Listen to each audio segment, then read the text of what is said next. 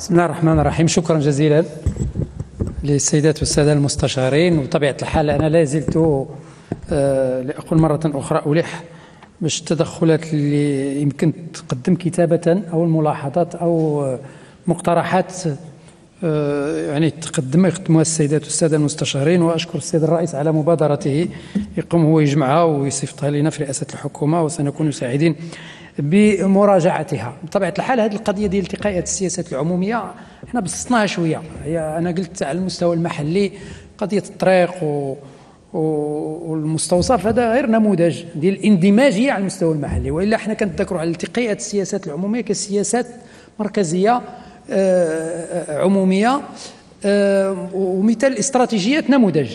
الاستراتيجيات اللي يهضروا عليها السادة السادة المستشارين ولكن يمكن ناكد لكم بأن عموم الاستراتيجية اللي كتم فيها نوع من الالتقائية لأن حتى شي قطاع ما كيوضع استراتيجية بوحده جميع القطاعات كتشارك معها قطاعات أخرى قريبة في وضع الاستراتيجية. ولكن الالتقائية هي واحد هي هي علم بقواعد هذا باقي ما ارتقيناش ليه. نحتاج فيه إلى تدقيق. ولذلك كانت هناك المناظرة الوطنية وهناك دراسة مع مع البنود مركز الأمم المتحدة للتنمية. آه، برنامج برنامج الأمم المتحدة للتنمية. بدأت منذ فترة وغادي تستمر وحنا الآن بصدد وضع المراحل الأخيرة في هذه الدراسة اللي غادي يتمكن من وضع أسس علمية علمية ومرتكزة على الخبرة الدولية فيما يخص التقاءات السياسات العمومية. لأن هي خبرة تتطور بالمناسبة. ليست خبرة جامدة بمعنى داك الشيء اللي عندنا هذه 10 سنين. باقي عندنا الآن. داك الشيء اللي عندنا في الالتقائية 10 سنوات على المستوى الدولي. اليوم تطور وبعض جوانبه متجاوز وتبرزت أدوات جديدة لتحقيق التقائية السياسات العمومية وانسجام البرامج أثناء التطبيق والتنفيذ. ولذلك إحنا غاديين في هذا وفق التطور الخبرة ديال الخبرة الموجودة عالميا. هذه النقطة الأولى. النقطة الثانية بغيت نأكد لكم بأن برامج الحماية الاجتماعية الآن تحظى باهتمام خاص لدراسة خاص بدراسة خاصة عن طريق جردها وتحليلها وبلورة تصور استراتيجي للحماية الاجتماعية لتكون سياسة عمومية مندمجة للحماية الاجتماعية خاصة في شقها المساعدة الاجتماعية. فهذا البرنامج الآن هذه الدراسة بدات. بدات. إن شاء الله نتمناو تكمل في القريب وغادي نعتمدوها لتحقيق الانسجام بين مختلف برامج الحماية الاجتماعية الموجودة باش تمشي تحقق الهدف ديالها حقيقة.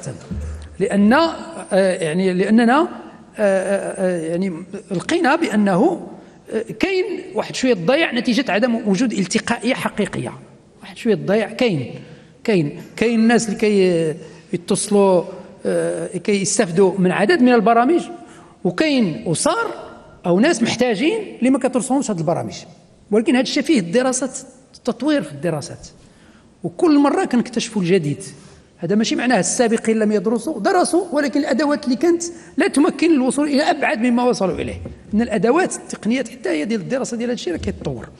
اذا هذا نأكد لكم بأن الآن كاين العمل عليه إن شاء الله والى إلى إلى تكمل إلى كمل هذا الورش. راه غادي نعنوا عليه. ولكن أيضا ما خصناش ننظروا للامور بمنظر أنه ما كاينش التقائية. راه حتى في الخطاب كاين ضعف كيدوي على الضعف.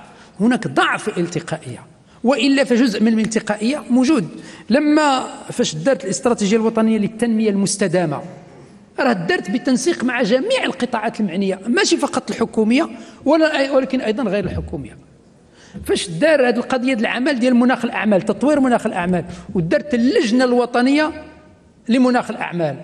مشاركين فيها CGEM مشاركين فيها آه، مؤسسات الحكامة مشاركين فيها آه، الغرف الغرف مشاركين فيها المهنيين الأبناك مشاركين وهكذا لزيادة على القطاعات الحكومية. شنو هذا وهناك لجنة اللي كتنسق وكتتبع لدى رئاسه الحكومة واللجنه واللجنة الوطنيه اللجنة الوطنية اللي كتجمع هاد الفرقاء كلهم على أعلى مستوى وكدير اللقاء ديالها سنويا وكدير تقييم وتصادق على البرامج انطلاقا من خدمة دارت بها فرق تقنية بالتنسيق مع جميع الشركاء من قبل. وهي التي أدت إلى العمل الذي نرى ليست هذا أعلى درجة من درجات الالتقائية والانسجام.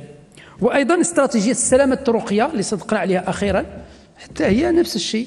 هي كتم في إطار لجنة وطنية اللي كتدمج مختلف الشركاء والقطاعات الحكومية المعنية من خلال عن طريق يعني من خلال انسجام بين رؤاهم وأفكارهم وآرائهم وحوار وتشارك في وضع هذه الاستراتيجية. اذا هناك هذا العمل كيتم والنهار بدينا كنديروا اللجان بين وزارية. هو واحد آلية من اليات تحقيق الالتقائيه في وضع السياسات والبرامج وأيضا الانسجام في تنفيذها على أرض الواقع وأيضا الانسجام أثناء عملية التقييم للمراجعة وتحقيق ما اسمه. مخطط التسريع الصناعي هو في نهاية المطاف شنو؟ هو مخطط التسريع الصناعي. هو واحد المخطط آه، آه، آه، هو كيحقق واحد جزء من الالتقائيه استراتيجية التكوين المهني نفس الشيء. التكوين المهني ليس منعزلا بالعكس التكوين المهني كيتطور مع الحاجيات الموجودة وكيتفاعل مع القطاعات. مثلا بغينا نجيو قطاع الطيران أثناء التفاوض مع شركة الطيران باش يجيو فورا قبل ما يجيو راه حنا كنديروا التكوين المهني انطلق باش بمجرد ما يجيو كيلقاو الأفواج خرجت. مثلا حنا لما زرنا بن ملال زرنا لاغروبول اللي هو واحد المنطقة للتصنيع الفلاحي. فهمتيني؟ أمامه كيتنشا مركز ديال التكوين المهني. قبل ما تبدا هي مركز التكوين المهني غادي يبدا الآن. غادي يبدا في هذه السنة. قبل ما تبدا الشركات والمصانع اللي غادي تجي للاستثمار بعد سنة أو سنتين كتكون الأفواج الأولى كتبدا تتكون فبالعكس استراتيجية التكوين المهني مندمجة. مندمجة على الأقل. مع السياسات الصناعية الموجودة والاستراتيجية دي إما ديال المخطط الصناعي أو أو أو أيضا ديال مخطط المغرب الأخضر. ما خصناش نستهنوا بما تم لحد الساعة وإلا ما يجيوش هادو.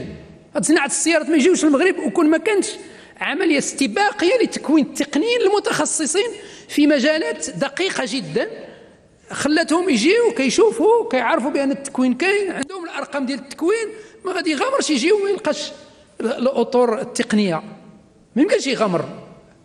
لأن آه، واخا بين قوسين استسمح الإخوان ديال ال CGEM لأن رأس مال جبان. ما غادي يجيش باش يبدأ يتشمش واحد عام عامين كيتسنى متى غادي يجيو الأطر ولا الكفاءات ولا التقنيين خصو يجي يكون الأمور موجودة أو قريبة توجد. فهادشي كل شيء داخل في هذاك المنظومة.